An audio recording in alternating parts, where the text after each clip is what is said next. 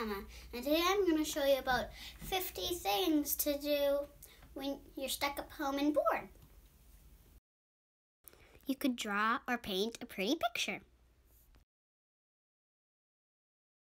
You could try cooking cookies or croissants or lots of different things. We have about 120 videos. You can go watch them. You can go on a bike ride, or a walk, or a run, or even ride on your scooter. You could go on a slack line or a fence to balance on. This is really good entertainment. You can go on a swing. You can listen to a podcast or Adventures in Odyssey. I really like Novacom. You can play a game online like 2048.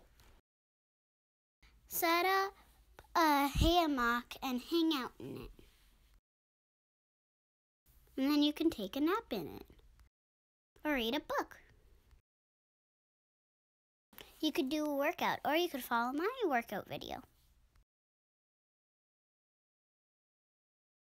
Since I have over a hundred videos, you could go like all of them. That'd be pretty cool. Try to do pull ups if you can. If you can, ride your horse.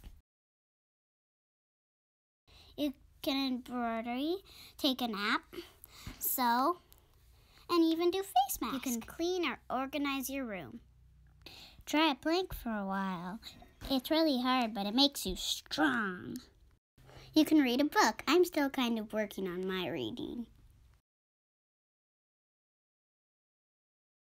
You could call, message, or write a letter to your friends if you have You could clean your tack or shoes. You could try knitting or crocheting. Make a Van and shake. They're really good. And if you want to learn how to make them, go watch my video you can roll down a hill. If you have pets, you can pet them. You could also groom your pets.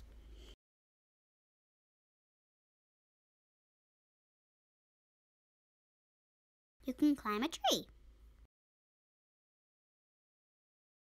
You could teach your animals tricks. I have a couple videos for this. You should go check them out. You can do a cartwheel or handstand. You can carve or whittling a stick, but be careful.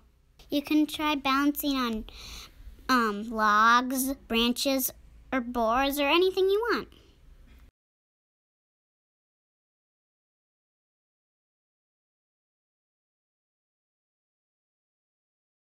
And those are some of my ideas to do when you're stuck at home and bored. Thanks for watching. See you next time on Emma's Farm. Bye.